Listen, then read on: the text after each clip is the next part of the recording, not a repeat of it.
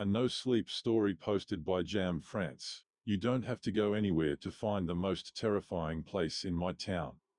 It comes to you. In my town, the most dangerous place is the abandoned Macy's department store. The basement, to be more precise. It's not easy to find, but people still manage to, mostly by accident. You're perfectly safe, as long as at least one of your feet stays on the stairs. You're supposed to just go back up, and eventually it'll move on. I'm not sure how many people have found it. Lots of people claim to, but it's hard to verify. Those that do take both feet off the stairs, well, no one hears from them to find out what comes next. Most of them probably end up listed as a missing person. That's why I'm writing this. I want people to know what happened to my sister and my friends. And if I can't figure something out soon, to me too. I want to share what it's really, truly, like down here. I know, I know, it doesn't sound that bad. A basement full of abandoned clothes and items with no windows so the darkness is only broken up by smatterings of flickering lights, where if you listen closely enough you'll hear another set of quiet footsteps always just behind you. But trust me, it's the most terrifying place I've ever been, and I'd give literally anything to leave. The store sprawls on for what must be miles. It's overwhelming in its vastness, yet not an inch of it is safe. Something pursues you down here, or maybe even multiple somethings. It's hard to tell. I can guess what you're thinking. A department store that people disappear into. That'd be shut down in an instant. Yes, you're right. And it was. Back the early 2000s. It used to just be a normal store. People shopped there for years without incident but then, something changed. No one is quite sure what caused it. But one day, no one that stepped into the basement ever came back out. Once it became apparent that there was no hope in saving those that were lost, the whole place was eventually torn down. As you can probably guess, that's not where the story ends. The basement still manages to claim people. The only difference now is that you don't go downtown to where the old Macy's used to be and take the escalator down. To get there, now, at least in my town, any escalator, elevator, or set of stairs you take down could bring you down here instead of where you were intending to go. It doesn't matter where you are, or where they usually lead. One of my classmates once claimed that he was just going downstairs in his house, but upon reaching the last step before the bottom, instead of his living room, he was staring into the basement of the store. I believe him too, because his story lacked the bravado of others I've heard, you could tell he was deeply afraid.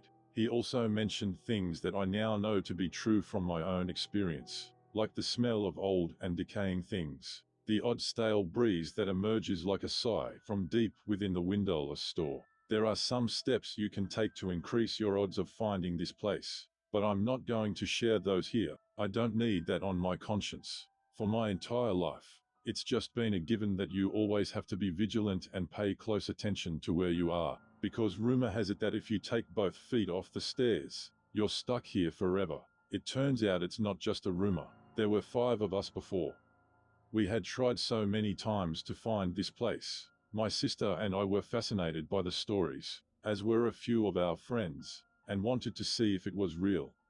Most of us were curious, but my sister Maddie, she was straight up obsessed. If we found it, we weren't going to actually to go in, Maddie had promised me. We tried several times before but we were successful a few days ago. We went to the top floor of Keith's dorm and went down so many flights, but eventually, somewhere around where the fourth floor should have been, we finally found it. Rows upon rows of decaying clothes and random items greeted us, for as far as the eye could see. The weak overhead lighting only illuminated so far into the distance. After that, it was just blackness, but you could feel the vastness of it. It was breathtaking, and not in a good way. A soft moan could be heard from just beyond the threshold, but we couldn't see the source. Maddie wanted to put her hand through, she said, to snap a picture. She did, and it came back a pixelated mess. She was disappointed and put one foot down onto the basement floor to lean in for a better shot. When nothing seemed to happen, she got bold and put both feet down. She turned around to grin at us, but the smile instantly left her face and was quickly replaced by what seemed to be a mix of fear and confusion. Her eyes widened and darted back and forth as she searched around. Frantically, she called out, and I waved my hands and yelled to her. I was just inches from her but when I reached out, I couldn't touch her. She didn't seem to hear or see us, but she seemed to catch a glimpse at the source of the moaning. I'm not sure what she saw, but whatever it was, the sight of it caused her to take off running with an expression of pure terror on her face. I could sometimes see her as she ran through the lit portions, but none of us could see what she was actually running from. Angie, Keith, Sky and I went in after her. Mary ran back up the stairs. That's good, it means Mary probably survived. That was a while ago, a couple of days. Now, it's just me, and the quiet footsteps that follow me through the aisles. It's funny, I used to think that the scariest thing in the world would be being chased by something just a bit faster than you. You turn back and you see it coming and just can't outrun it. But, I've since found from recent experience that what's actually scarier is something that doesn't need to run after you. Because you can keep going, and going, and going, but eventually you'll run out of energy or become cornered, and it knows that. You just hear the slow, deliberate, wet slap of bare flesh on linoleum. It doesn't have to run, eventually you will fall, and it will take you. Distance doesn't seem to help. It's approached me from directions that I would have thought impossible. Once it was far behind me, and then suddenly pursuing me from the front. That was the one time I saw it. Just a glimpse of details as it emerged into a dimly lit portion of the aisle. I hope I never see it again. I'm still holding out hope that dehydration gets me first. You can't tell day from night down here. There are no windows, just weakly flickering fluorescent lights in some areas and a darkness unlike anything I've seen before in others. It's disorienting and makes it so easy to imagine what must be lurking in the shadows, just out of sight. I'm grateful I have my phone with me, before now I just used it to check the time or illuminate pitch black areas and turned it off to conserve the battery. But when it finally sunk in that I was never leaving, I started writing this.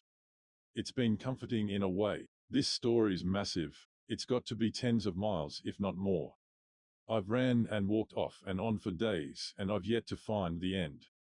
I've stopped calling out for my sister or our friends. Not because I've lost hope of finding them, but because I know something else already did.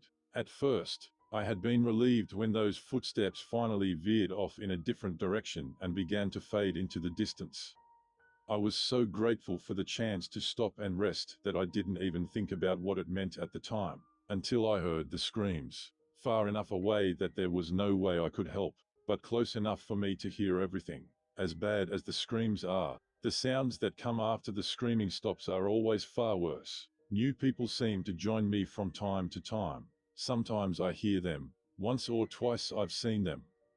I guess they took both feet off the stairs as well. I wonder where they came from. My town, or somewhere else entirely. But we're never close enough to ask and I'd never risk shutting here. I've been down here long enough now that I've started noticing certain things. And the more I notice these details, the more they unnerve me. For example, the store and items within it seem to just grow and grow. For everyone that disappears down here, the store seems to grow just a bit bigger. The clothes and housewares I've ran past, if you take a really close look, you'll see they aren't quite right looking. The textures are all wrong. They aren't made out of fabric, plastic or metal, everything in here is made of something else. Something more familiar. Now that I'm looking, I've noticed that the clothes seem to sigh with something like resignation under my touch. It's never truly silent down here. I've developed a theory, maybe I'm just losing my mind, but I'm starting to suspect that there is no such thing as death down here. Maybe just deconstruction and remaking. I'm worried that I may find out very soon. I'm so tired, I don't even have the energy to sit upright, much less to continue onward. I hear the sharp sound of hangers slowly sliding on metal as it searches for me under racks of clothing. I hear the footsteps far too close for comfort. I'm hoping that in sharing this, it will encourage more caution in others and maybe prevent a few thrill seekers from following in our footsteps. If you find that a perfectly ordinary trip down some stairs suddenly leaves you staring into this dark expanse, Please just go back where you came from and don't look back. Please don't take both feet off the stairs.